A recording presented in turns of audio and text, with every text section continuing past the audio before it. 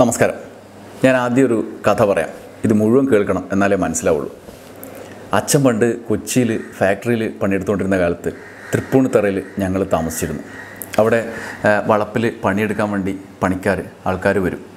അവർ രാവിലെ കട്ടൻ കാപ്പി കുടിച്ചിട്ടാണ് വരിക വേറൊന്നും ഉണ്ടാവില്ല വീട്ടിൽ.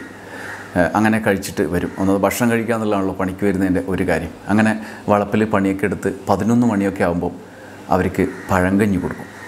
പഴങ്കഞ്ഞി എന്ന് പറഞ്ഞാൽ തലേനാൾ നമ്മൾ വീട്ടിൽ കഴിച്ച് ബാക്കിയുള്ള കഞ്ഞിയാണ്. വെറുതെ കളയാൻ വേണ്ടി ഉള്ള കഞ്ഞിയാണ്. അത് വീട്ടിലിങ്ങനെ വെച്ചിട്ടുണ്ടാവും. പണിക്കാർക്ക് എടുത്തു കൊടുക്കും. കുറേ കറിയും ബാക്കിയുണ്ടാവും. എല്ലാം കൂടി പണിക്കാർക്ക് കൊടുക്കും. അവർ അത് എങ്ങനെ കഴിക്കാന്ന് വെച്ചാൽ വീട്ടിന്റെ പുറത്ത് പുറത്തുമല്ല പണിയെടുക്കുന്ന സ്ഥലത്ത് തന്നെ ആ പറമ്പ് തന്നെ ഒരു കുഴി കുത്തിയിട്ട് അതിലെ ഇല വെച്ചിട്ട് ആ കുഴിയിൽ കഞ്ഞിട്ടിടും അതിൽ നമ്മൾ കറി ബാക്കിയുള്ള കറിയൊക്കെ മിക്സ് ചെയ്തിട്ട് അതിലിട്ടുള്ളൂ അവരത് കുഴച്ച് അങ്ങ് കഴിക്കും. കഴിക്കുന്ന പറഞ്ഞാൽ കൈ കൊണ്ടല്ല കഴിക്കുക പ്ലാവില കൂട്ടിയിട്ട് അതിന് ഈർക്കിൽ കുത്തിയിട്ട് നമ്മളെ സ്പൂണില്ലേ നമ്മൾ കോരിക്കുടി എന്നൊക്കെ പറഞ്ഞ് സ്പൂണ് എടുത്തിട്ട് കോരി ചെയ്യാം. അവരിങ്ങനെ വിശന്ന് വേർപ്പൊക്കെ വീട്ടിനകത്ത് കയറ്റില്ല അതുകൊണ്ടാണ് പുറത്തുനിന്ന് കഴിക്കുന്നത്. വീട്ടിനകത്തേക്ക് അവരെ കയറ്റില്ല മുറ്റത്തും കയറ്റില്ല പറമ്പിൽ തന്നെ ആണ് കഴിക്കുക. വേർത്ത് വൃത്തിയിലൊക്കെ കഴിക്കണം എന്ന് ഒരു മനുഷ്യനുണ്ടാവില്ലേ പക്ഷെ നമ്മളന്നേരം കയറ്റില്ല. അവിടെ തന്നെ ഇരുത്തി അതിൽ നിന്ന് അവർ ആ കുഴിയിൽ ഇല വെച്ചതിൽ നിന്ന് മണ്ണിൽ കഴിച്ച് കോരി കഴിക്കുക അപ്പോൾ അവർ വിശന്ന് വേർപ്പൊക്കെ ആയിട്ട് ഒന്ന് സ്വസ്ഥമായി കഴിക്കണം എന്നൊക്കെ ഉണ്ടാവും പക്ഷെ നമ്മൾ അനുവദിക്കില്ല. അപ്പോൾ അവിടെ നിന്ന് കഴിച്ചിട്ട് ഇങ്ങനെ ആ വിശപ്പ് അങ്ങോട്ടങ്ങുന്നതിന്റെ ഒരു ഒരു വല്ലാത്തൊരു ആശ്വാസം അവരുടെ മുഖത്ത് കാണാൻ കഴിയും. ഇപ്പോൾ കാലം ഒരുപാട് കഴിഞ്ഞു. ഇത്രയും കഴിഞ്ഞാലും എന്റെ മനസ്സിൽ അതിനൊരു കുറ്റബോധം ഉണ്ടാവും. നമ്മളെ വീട്ടിൽ ഇഷ്ടം പോലെ ഭക്ഷണമൊക്കെ ഉണ്ടാവും. അപ്പോൾ നമ്മളത് കഴിക്കുമ്പോഴും ഇപ്പോഴും മനസ്സിലിങ്ങനെ ഒരു കുറ്റബോധം വേട്ടയാടിക്കൊണ്ടിരിക്കും. അന്ന് ആളുകൾക്ക് അങ്ങനെ കൊടുത്തല്ലോ എന്ന് വെച്ചിട്ട്. അപ്പം ഞാനിത് ഒരു കഥയാണ് പറഞ്ഞത്.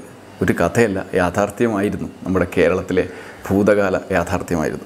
ഈ സംഭവത്തെ മറ്റൊരു രീതിയിൽ ചില ആളുകൾ മറ്റു രീതിയിലും കാണുമല്ലോ. അങ്ങനെ കണ്ട ഒരു കഥ ഞാൻ പറയാം. എങ്ങനെ വെച്ചാൽ നടൻ കൃഷ്ണകുമാറുണ്ടല്ലോ. മൂപ്പര് ബി ജെ പി നേതാവാണ്. ബി ജെ പി നേതാവായ നടൻ കൃഷ്ണകുമാർ. ആ, കൃഷ്ണകുമാർ ഒരു സാമൂഹ്യ വ്യക്തിത്വമാണ്. അദ്ദേഹം ഇതേ സംഭവത്തെ ഞാൻ അദ്ദേഹം പറഞ്ഞ സംഭവത്തെ നമ്മുടെ ഒരു സാധാരണ കാഴ്ചപ്പാടിൽ അവതരിപ്പിച്ചതാണ്. എന്നാൽ അസാധാരണമായ പണ്ട് സാധാരണമായിരുന്നതും ഇന്ന് നമുക്ക് അസാധാരണമാണ് എന്ന് തോന്നിപ്പിക്കുന്നതുമായ കാഴ്ചപ്പാടിലാണ് കൃഷ്ണകുമാർ അദ്ദേഹത്തിന്റെ അനുഭവം പറയുന്നത്. അദ്ദേഹത്തിന്റെ അനുഭവമാണ് ഞാൻ എന്റെ കാഴ്ചപ്പാടിലൂടെ പറഞ്ഞത്. ഒരുപക്ഷെ നിങ്ങളുടെയും കാഴ്ചപ്പാട് അങ്ങനെ തന്നെയായിരിക്കും. അദ്ദേഹം വ്ളോഗിലൂടെ വലിയൊരു ഫൈവ് സ്റ്റാർ ഹോട്ടലിൽ നിന്ന് ഭക്ഷണം കഴിച്ചിങ്ങനെ ഇരുന്നപ്പം അദ്ദേഹത്തിന് നൊസ്റ്റാൾജിയ കൂടിയിട്ട് പഴയ കാര്യങ്ങൾ ഓർത്തെടുത്തതാണ്. അപ്പോൾ അദ്ദേഹം പറഞ്ഞ കാര്യം ഇതേ കാര്യം തന്നെ ഞാൻ അതിന്റെ പദാനുപദം വായിക്കാം. ഞാനൊക്കെ ഇവിടെ എറണാകുളത്ത് തൃപ്പൂണിത്തുറയിൽ അച്ഛൻ ഫാക്ടറിയിൽ വർക്ക് ചെയ്യുന്നത് കൊണ്ട് ഞങ്ങൾ അവിടെ ജീവിക്കുന്ന കാലത്ത് പറമ്പൊക്കെ വൃത്തിയാക്കാനായിട്ട് ആൾക്കാർ വരും. അവർ രാവിലെ വരുമ്പോൾ കട്ടൻ ചായയോ എന്തെങ്കിലും കുടിച്ചിട്ടായിരിക്കും വരിക. ഒരു പതിനൊന്ന് മണിയാകുമ്പോഴത്തേക്ക് അവർക്ക് പഴഞ്ചോറ് മതി. അന്ന് അമ്മ കുറച്ച് പഴഞ്ചോറ് അവർക്ക് വേണ്ടി എടുത്തു വെച്ചിരിക്കും. അവർക്ക് കൊടുക്കാൻ വേണ്ടിയിട്ടേ. കുറച്ച് കറികളൊക്കെ എടുത്ത് വെച്ചിരിക്കും അതിന്റെ കൂട്ടത്തിൽ. അവർക്ക് കൊടുക്കാൻ. അമ്മ എല്ലാവർക്കും എല്ലാം കൊടുക്കും. അങ്ങനെയാണെന്ന് വെച്ചാൽ അതെ അന്ന് എങ്ങനെയാണെന്ന് വെച്ചാൽ വീട്ടിലല്ല ഈ പണി ചെയ്ത പറമ്പിൽ തന്നെ ചെറിയൊരു കുഴിയെടുക്കും. ഇതാ ഇത്ര മാത്രമുള്ളൊരു കുഴി. അതൊരു അരയടി താഴ്ചയിലൊരു കുഴി എടുത്തിട്ട് അതിൽ വട്ടയില അല്ലാന്നുണ്ടെങ്കിൽ നമ്മുടെ ചേമ്പിന്റെ ഇലയോ എന്തെങ്കിലും എടുക്കും. എന്നിട്ട് അത് അതിനകത്ത് വെച്ചിട്ട് അതിലോട്ട് പഴഞ്ചോറും എല്ലാ കറികളും മിക്സ് ചെയ്ത് ഇട്ട് കൊടുക്കും. എന്നിട്ട് അവരതിൽ കൈവച്ച് ഇങ്ങനെ ഉടക്കും. ഉടച്ചതിന് ശേഷം കൈവച്ചല്ല കഴിക്കുക. ഈ പ്ലാവില എടുത്ത് ചുരുട്ടിയിട്ട് അതിൽ ഈർക്കിൽ കുത്തിയിട്ട് അത് വെച്ചാണ് കഴിക്കുക. സത്യം പറഞ്ഞാൽ എത്രയോ വർഷങ്ങൾ കഴിഞ്ഞിട്ടും അവരാ കോരിയെടുത്ത് വിയർപ്പ് മുഖമൊക്കെ വല്ലാണ്ടായി വിശപ്പോടെ കഴിക്കുന്നത് കണ്ടുകൊണ്ടിരുന്നിട്ടേ നമ്മുടെ വീട്ടിൽ എല്ലാ ഉണ്ടായിരുന്നു. എന്നാൽ പോലും അവർ കഴിക്കുന്നത് കാണുമ്പോൾ ഒരു കൊതി വരും. ഇപ്പം അതൊന്നും ഇല്ലല്ലോ. കൃഷ്ണവർ പറയുന്നത് ഈ കൊതിയെക്കുറിച്ചാണ്. ഇപ്പം അതൊന്നും ഇല്ലല്ലോ. ഇപ്പം അവർ മാന്യമായിട്ട് ഭക്ഷണം കഴിക്കുന്ന തൊഴിലാളികളാണ് നമ്മുടെ നാട്ടിൽ. കൃഷ്ണകുമാറിന്റെ ഈ വാക്കുകൾ ഈ നൊസ്റ്റാൾജിയെ ഗൃഹാതുരമായ ഓർമ്മകളെ അന്ന് നഷ്ടപ്പെട്ട ആ കൊതിയുടെ സാമൂഹ്യ സാഹചര്യത്തെക്കുറിച്ച് ഓർത്തിട്ടുള്ള അദ്ദേഹത്തിന്റെ ആ ഭൂതകാല ഓർമ്മ അദ്ദേഹം ഭൂതകാലത്ത് ഇങ്ങനെ പുറത്തേക്ക് എടുത്തിട്ട് ഭയങ്കര നൊസ്റ്റാൾജിക്കായി അത് ആവർത്തിച്ച് നമ്മുടെ മുമ്പിലേക്ക് അവതരിപ്പിക്കുമ്പോൾ നമുക്ക് എന്താ തോന്നുന്നത് എന്ന് ഞാൻ പ്രത്യേകിച്ച് പറയണ്ടല്ലോ. അവർ രാവിലെ വരുമ്പോൾ ഒരു കട്ടൻ ചായ എന്തെങ്കിലും കുടിച്ചിട്ടായിരുന്നു ഒരു പതിനൊന്ന് മണിയാകുമ്പോഴത്തേക്ക് ഇവർക്ക് പഴഞ്ചോറ് മതി. അന്ന് അമ്മ കുറച്ച് പഴഞ്ചോറ് എടുത്ത് വെച്ചേക്കും. കുറച്ച് കറികളൊക്കെ വെച്ചേക്കും.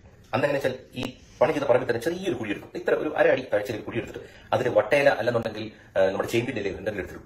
ഇതിലോട്ട് പഴഞ്ചോറും എല്ലാ കറികളും ഇട്ട് കൊടുക്കണം.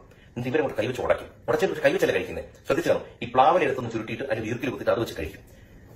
സത്യനോട് പറഞ്ഞ എത്രയോ വർഷങ്ങൾ കഴിഞ്ഞിട്ടും അവരാ ജോലി എടുത്ത് വേർത്ത് അല്ലെങ്കിൽ മോഹം കൊണ്ട് കഴുകിയിട്ട് കൊണ്ട് വിശപ്പോടെ കഴിക്കുന്ന കണ്ടോണ്ടിരുന്നിട്ട് നമ്മൾ വീട്ടിൽ എല്ലാ ഭക്ഷണം അവർ കഴിക്കുന്നതാണ് ഒരു കൊതി വരും. നമ്മുടെ സാമൂഹ്യ സാഹചര്യങ്ങളിൽ ഇത്തരത്തിലുള്ള ചിന്തകളിലൂടെ കടന്നു വന്ന ഭൂതകാലം നമുക്കുണ്ട്. ആ ഭൂതകാലത്തിൽ അഭിരമിക്കുന്ന ഒരുപാട് ആളുകൾ ഇപ്പോഴും ഉണ്ട്. അത് തിരിച്ചു വന്നെങ്കിൽ എന്ന് ഓർത്ത് അഭിരമിക്കുന്ന. പരസ്യമായി പറയണം എന്നൊന്നുമില്ല.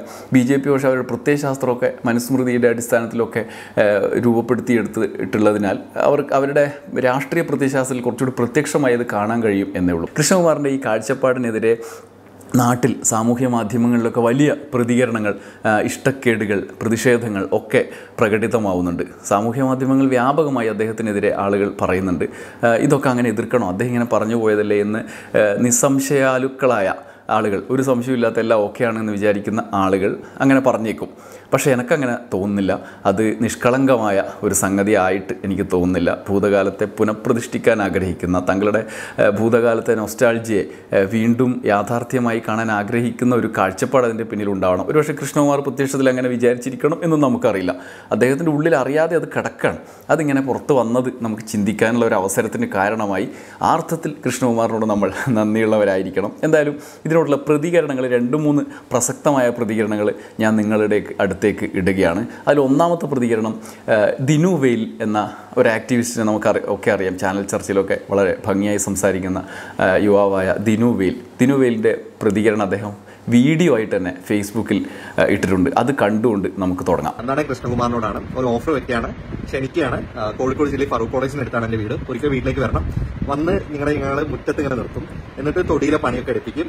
പണിയെടുത്ത് വേർത്ത് കഴിയാണ്ടാവുന്ന സമയത്ത് ഞങ്ങൾ പാടത്തേക്ക് നിങ്ങളെ വിടും. അവിടെ എല്ലു മുറിയെ ഞങ്ങൾ നിങ്ങളെ കൊണ്ട് പണിയെടുപ്പിക്കും.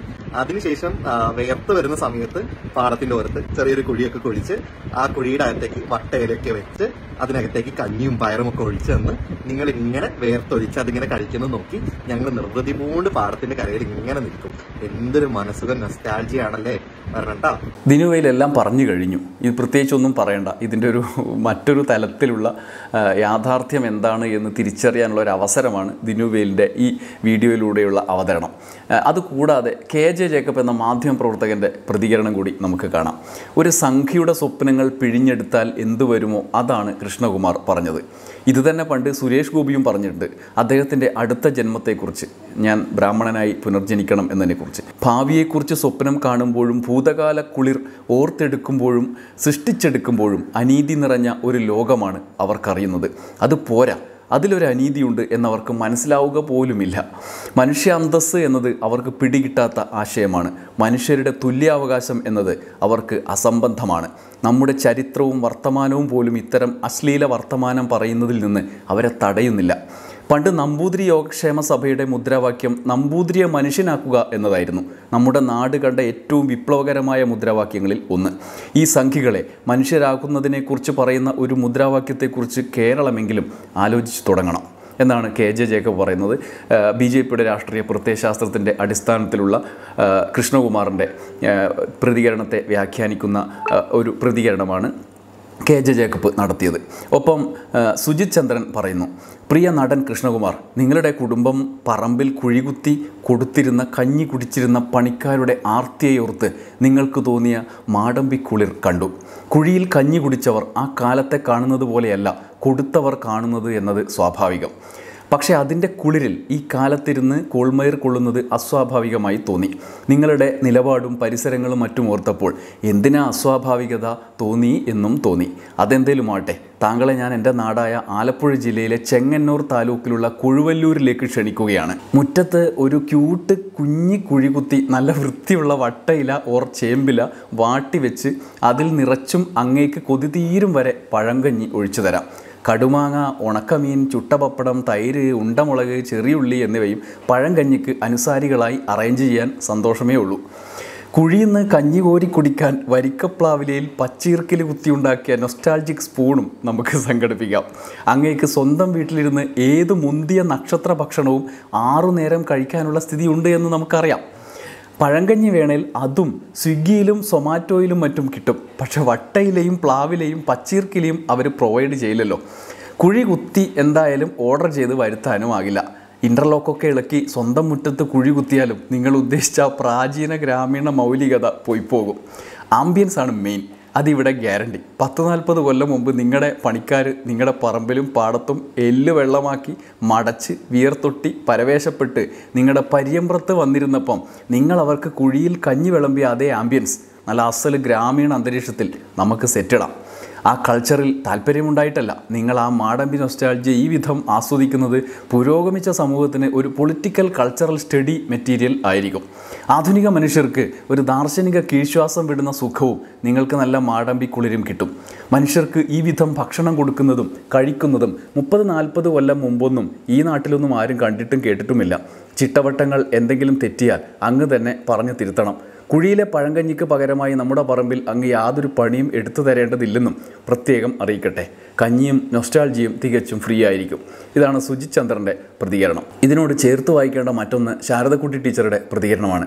ഏതോ പ്രാകൃതകാലത്ത് ജനിച്ചു ജീവിച്ചവരെ പോലെ സംസാരിക്കുന്ന നടൻ കൃഷ്ണകുമാറിനെയൊക്കെ പരാമർശിക്കേണ്ടി വരുന്നത് പോലും ലജ്ജാകരമാണ്. ആയിരത്തി തൊള്ളായിരത്തി അറുപത്തി എട്ടിൽ ജനിച്ച ഒരാളുടെ ചെറുപ്പകാലം എഴുപതുകളിലാണ്. അന്ന് തന്റെ അമ്മ തറവാട്ടിലെ പറമ്പിൽ കുഴി കുത്തി കഞ്ഞി കൊടുക്കുകയായിരുന്നു എന്നൊക്കെ പറയുന്നത് സത്യമാകാൻ ഇടയില്ല ഇല്ലാതിരുന്ന ഒന്നിനെപ്പോലും ഉണ്ടായിരുന്നതായി സങ്കല്പിച്ച് തന്റെ വംശമഹിമക്ക് അത് അലങ്കാരമാക്കി ഭാവിച്ചെടുക്കുകയാണ് അയാൾ. ഗംഭീരമായിരുന്ന തന്റെ തറവാട് അതിനു ചുറ്റും വലിയ പറമ്പ് അവിടെ നിറയെ പണിക്കാർ അവർക്ക് കുഴി കുത്തി കഞ്ഞി കൊടുക്കുന്ന അമ്മ അത് കണ്ട് അകത്തളത്തിലിരുന്ന് കൊതിക്കുന്ന തറവാട്ടുണ്ണി തങ്കപ്പവൻ കുഞ്ഞ്. ആഹാഹാ സങ്കല്പ ലോകത്തിലെ ബാലഭാസ്കരൻ സ്വപ്നം കാണുന്ന രാജാവ് അർദ്ധരാജ്യം കാണാറില്ല. ഇയാൾ പഴയകാല സിനിമ വല്ലതും കണ്ട ഓർമ്മയാകും. രഞ്ജിത്തിന്റെ ആറാം തമ്പുരാൻ കണ്ടതിന്റെ ആറാം തമ്പുരാനൊക്കെ ഉണ്ടല്ലോ. അതുപോലത്തെ ഓർമ്മകളായിരിക്കും. അല്ലെങ്കിൽ നരസിംഹം ഒക്കെ കണ്ട നായകന്റെ ഓർമ്മയായിരിക്കും. എന്തായാലും കൃഷ്ണകുമാർ മുന്നോട്ട് വെച്ച ഈ ചിന്ത നമ്മളൊരു ചർച്ചയ്ക്ക് വിധേയമാക്കുക തന്നെ വേണം എന്നാണ് എന്റെ ഒരു ഇത്. കാരണം ഭൂതകാലത്തിന്റെ ഓർമ്മകളെല്ലാം കുളിരാണ് എന്ന് വിചാരിച്ചിരിക്കുന്ന വർത്തമാനകാല ജീവിതത്തിൽ ഇതുപോലുള്ള സംഭവങ്ങൾ അനിവാര്യമാണ്. കാരണം അത്തരം അനിവാര്യതകളിൽ നിന്നാണ് നമ്മൾ തിരിച്ചറിവുകളിലേക്ക് എത്തുക. ഭൂതകാലത്ത് ഇങ്ങനെയുള്ള കാലത്തിലൂടെ നമ്മൾ കടന്നു വന്നിരുന്നു എന്ന് നമ്മൾ അറിയുക. പല സംഭവങ്ങളും ഇപ്പോൾ ചർച്ച ചെയ്യുമ്പോൾ ഏ അങ്ങനെയൊന്നും ഉണ്ടായിട്ടില്ല എന്ന് പറയുന്ന പുതിയൊരു രാഷ്ട്രീയ സംസ്കാരം കൾച്ചർ എന്ന് പറയില്ലേ അത് ഇപ്പോൾ ഇവിടെ രൂപപ്പെടുത്തി വന്നിട്ടുണ്ട്. ഏ അങ്ങനെ ജാതി ഐത്വമൊന്നും നമ്മളെടുത്തില്ല അങ്ങനെയൊന്നും ഉണ്ടായിട്ടില്ല. അപ്പം നമ്മളിവിടെ ഭയങ്കര ഹൈന്ദവ മനുസ്മൃതി അലങ്കാര സംഗതിയായിരുന്നു എന്ന് പറയുന്ന ഒരു രീതി. അതിൽ നിന്ന് വ്യത്യസ്തമായി ഒരു ചിന്തയ്ക്കുള്ള കാരണമായി ഇപ്പം തന്നെ വന്നത് നന്നായി. കുറേ കാലം കഴിഞ്ഞിട്ടാണെങ്കിൽ ഇത് ആഘോഷിക്കപ്പെടുന്ന ഒരു സാധനമായിരിക്കും. ചില സ്ഥലങ്ങളിലൊക്കെ ഇമാതിരി സാധനങ്ങൾ ആഘോഷിക്കപ്പെടുന്ന നമ്മൾ കാണുന്നില്ലേ? അത്തരം പുനർജന്മത്തിൽ ബ്രാഹ്മണനായി പുനർജനിക്കണം എന്ന് ആഗ്രഹിക്കുന്ന സൂപ്പർ നടനെ നമുക്കറിയാലോ. അദ്ദേഹത്തെ പോലുള്ള കാഴ്ചപ്പാടുകളിനെ നിരന്തരം വരും. നമ്മളതിനോട് ഇങ്ങനെ കലഹിക്കുക എന്നുള്ളതല്ലാതെ മറ്റൊന്നുമില്ല. എന്തായാലും ഇത്തരത്തിലുള്ള ബി ജെ പി അല്ലെങ്കിൽ രാഷ്ട്രീയ പ്രാതിനിധ്യത്തിനപ്പുറത്ത് ഇത്തരത്തിലുള്ള ചിന്തകൾ ഒരുപക്ഷെ രാഷ്ട്രീയ പ്രാതിനിധ്യത്തിൽ ഈ നേരത്തെ പറഞ്ഞതുപോലെ കെ ജെ ജേക്കബ് പറഞ്ഞതുപോലെയുള്ള സംഘപരിവാർ പ്രത്യയശാസ്ത്രം ഉണ്ടാകാം. മനുസ്മൃതി അടിസ്ഥാനമാക്കിയ ഒരു പ്രത്യയശാസ്ത്രം ഉണ്ടാകാം. അതുകൂടാതെ പൊതുസമൂഹത്തിൽ ഭാവിയിൽ അവരുടെ കൂട്ടത്തിൽ കൂടാവുന്ന തരത്തിലുള്ള ആളുകൾ പൊതുസമൂഹത്തിൽ മിക്കവാറും രാഷ്ട്രീയ പാർട്ടികളിൽ വലതുപക്ഷ ചിന്തയുമായി നടപ്പുണ്ടാകും. അത്തരത്തിൽ ഉള്ളിൽ ഒതുക്കി വെച്ചിരിക്കുന്ന ചിന്തകൾ ഇപ്പോഴും ഇത്തരം നൊസ്റ്റാൾജിയകൾ ഉള്ളിൽ സൂക്ഷിക്കുന്ന ഗൃഹാതുരത്വത്തിന്റെ കുളിർ ഉള്ളിൽ സൂക്ഷിക്കുന്ന ആളുകൾ ഉണ്ടാകും. അത്തരം ജാതീയമായ ചിന്തകൾക്കപ്പുറത്ത് ആ, ഐത്തത്തിന്റെ അല്ലെങ്കിൽ വിവേചനത്തിന്റെ ചിന്തകൾ. ഞാൻ ലേശം വലിയ മൂത്തവനാണ് എന്ന് ചിന്തിക്കുന്ന അടിസ്ഥാന ധാര ഉള്ളിൽ സൂക്ഷിക്കുന്ന ആളുകൾക്കൊക്കെ രാഷ്ട്രീയമായി ഇത്തരം പ്രതിലോമകരമായ ചിന്തകൾ സൂക്ഷിക്കുന്ന ആളുകൾക്കൊക്കെ കൃഷ്ണകുമാറിനെക്കുറിച്ച് കൃഷ്ണകുമാറിനെ ചിന്തിക്കാനുള്ള ഒരു അവസരമായി നമുക്കിതിനെ അങ്ങ് മാറ്റാം. നന്ദി നമസ്കാരം.